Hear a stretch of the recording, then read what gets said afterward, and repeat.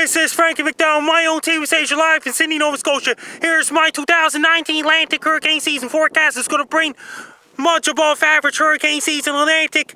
It's going to bring 60 named storms, 8 hurricanes, and 5 major hurricanes in Atlantic. It's going to bring a lot of hurricanes, especially in Florida and Carolinas and Texas and Louisiana and Alabama.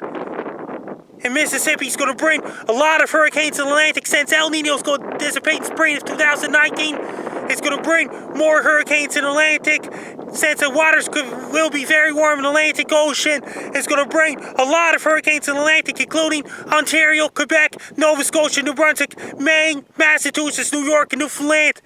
Don't let your guard down. Keep your guard up because there'll be a lot of tropical waves coming off coast of Africa.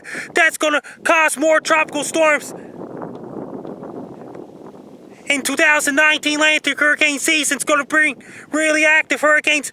Don't let your guard down. Keep your guard up. Make sure of your emergency kits, medical kits, flashlights, candles, extra batteries, battery operated lanterns, and everything ready as well. Because and most of the hurricanes will happen in late August and September 2019.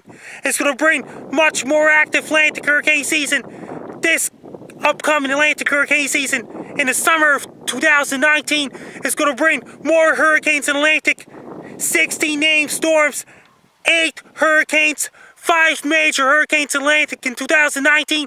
Atlantic hurricane season is going to bring a lot of storms all across eastern United States and Gulf Coast of the United States, including Texas, Florida, Alabama, Mississippi, Louisiana, even up in Ontario and Michigan and all across New England, land to Canada, and all these places. Be prepared for 2019 Atlantic hurricane season. Take care, stay safe. Don't get caught in hurricanes. Be safe.